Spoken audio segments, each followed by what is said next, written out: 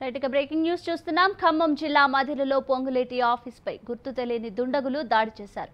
మాజీ ఎంపీ పొంగులేటి శ్రీనివాసరెడ్డి ఆఫీస్పై గుర్తు తెలియని వ్యక్తులు దాడి చేశారు. కార్యాలయం ముందు దుండగులు ఫ్లెక్సీలు చించివేశారు. కార్యాలయంలో పూల కుండీలు కూడా ధ్వంసం చేశారు. పొంగులేటి సిబ్బంది సమాచారం మేరకు పోలీసులు కేసు నమోదు చేసుకున్నట్టు సమాచారం. ఇక ఇదే అంశంపై మా ప్రతినిధి శ్రీనివాస్ మరింత సమాచారం అందిస్తారు. శ్రీనివాస్ చెప్పండి.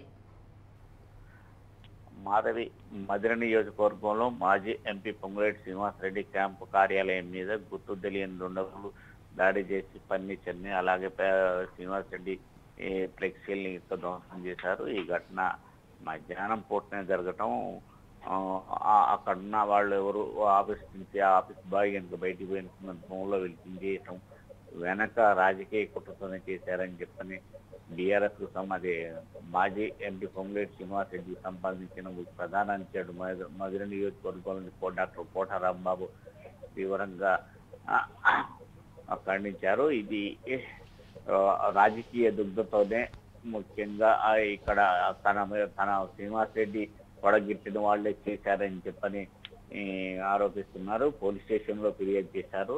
అక్కడ ఆ శ్రీనివాస్ రెడ్డి ప్రా- ప్రాధాన్యత పెరుగుతుందనే నెపంతోనే ఈ ఇలాంటి దుశ్చర్యలకు పాల్పడ్డారని చెప్పిన డాక్టర్ ఓ కోట రాంబాబు. అంటే అతను అక్కడ ఈసారి మధుర నియోజకవర్గం పోటీ చేయాలని చూస్తున్నారు. అక్కడ కూడా పార్టీ సంబంధించినంత ఏ పార్టీలు చేరే పరిస్థితి ఇంకా స్పష్టంగా చెప్పకపోయినప్పటికీ అక్కడి నుంచి అతని అభ్యర్థి అనుకుంటున్న నేపథ్యంలో అక్కడ ఉన్న ఆ పార్టీ కార్యాలయం సంబంధించిన మంచి చెడ్లు కార్యకర్తల బాగోగులు మొత్తం డాక్టర్ రాంబాబు చూస్తున్నారనే వాదన వినిపిస్తుంది. అయితే ఇది రాజకీయంగా తన ప్రత్యర్థులు తనపై తన మా- నాయకుడు శ్రీనివాస్ రెడ్డిపై ఈ కుట్రపూరితంగా చేసి ఆఫీసులో పగులు కోర్టు మీద దాడి చేసి ఫ్లెక్సీలు రాజకీయంగా ఇది శ్రేష్టం కాదు శ్రేయస్కరం కాదని చెప్పని రాంబాబు అన్నాడు. అదే కొత్త ఎన్టీఆర్ అంటే శత జయంతి ఉత్సవాల సందర్భంగా ఖమ్మం నుంచి కార్ల ర్యాలీ నిర్వహించి దమ్మపేట పావైరా ఇటు పా సత్తుపల్లి పరిసర ప్రాంతాల ఎన్టీ రామారావు విగ్రహాలకి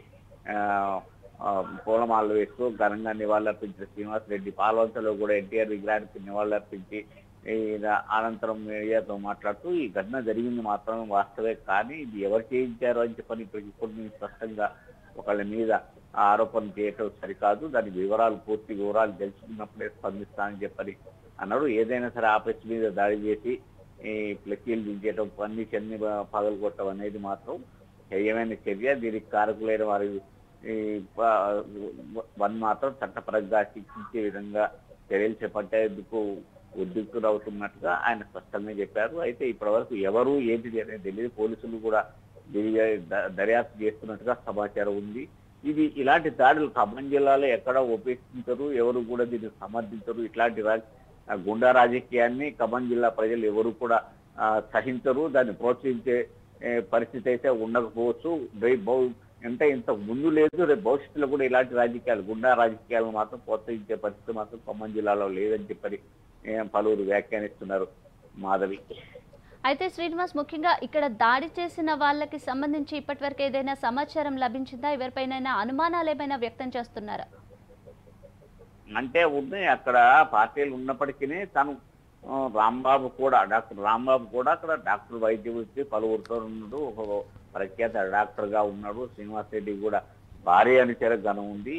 అయితే తన ఆ, అంటే అతని వల్ల అంటే శ్రీనివాస్ రెడ్డి ప్రాబల్యం పెరిగితే ప్రత్యర్థులకు కూడా నష్టం కదా ప్రాబల్యం పెరగకుండా ఇలాంటి భయకంపితులు చేస్తే వాళ్ళు వెనక్కి తగ్గుతారు అక్కడ ఉండే అంతర్గతం కూడా వెనక్కి తగ్గుతారనే ఉద్దేశంతో చేసినట్టుగా కనిపిస్తుంది.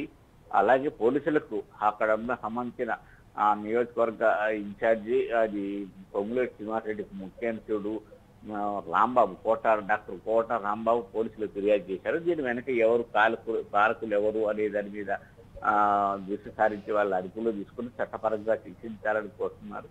ఇది ఒక రాజకీయంగా ఆ, మలుపు తిప్పే ఆ, అంశమే కావచ్చు. ఎందుకంటే అక్కడ మధ్యలో సిఎల్పి లీడర్ బట్టి విక్రమార్క ప్రాతినిధ్యం వహిస్తున్నారు.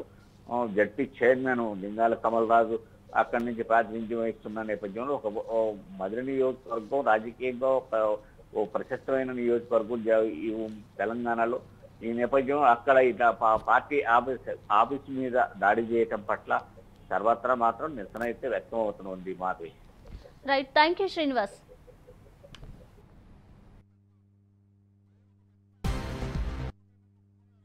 రాత్రి సుమారు పదిన్నర సమయంలోని గుర్తు తెలియనటువంటి వ్యక్తులు పొంగులేటి సీనాల యొక్క క్యాంప్ ఆఫీసులోకి ప్రవేశించి ఆ యొక్క ఫ్లెక్సీల్ని ధ్వంసం చేసి ఫ్రేములు విరగొట్టి అక్కడ ఉన్నటువంటి పూల కుండీలు కూడా ధ్వంసం చేసినటువంటి ఒక సంఘటన రాత్రి పదిన్నరకు మెదడులో జరిగి జరిగింది.